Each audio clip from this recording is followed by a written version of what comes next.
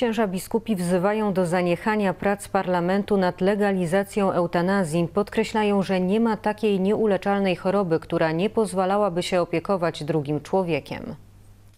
Rząd Hiszpanii chce zalegalizować eutanazję pod hasłem, i tu cytat, prawa do godnej śmierci. odsłona cywilizacji śmierci. Projekt, nad którym toczą się prace, przewiduje, że eutanazja miałaby zostać sfinansowana ze środków państwowych, to znaczy z podatków. Zgodę na śmierć miałby wyrazić sam pacjent. Do tego potrzebna będzie opinia co najmniej dwóch lekarzy. Księża biskupi w Hiszpanii zwracają uwagę, że regulacje forsowane przez obóz rządzący to brak szacunku do ludzkiego życia. Dążenie do legalizacji eutanazji ogranicza pojęcie człowieczeństwa i daje pole wolności, która nie ma związku z odpowiedzialnością.